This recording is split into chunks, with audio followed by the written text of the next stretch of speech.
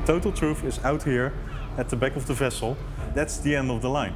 If it works here at the North Sea behind the vessel, it will work everywhere.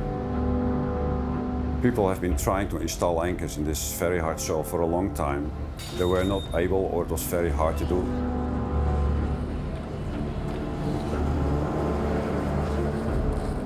I know from experience that Krafla field is a quite challenging uh, location in terms of anchoring.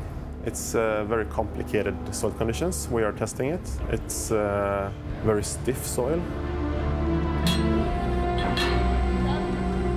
It is challenging and I believe we can do it.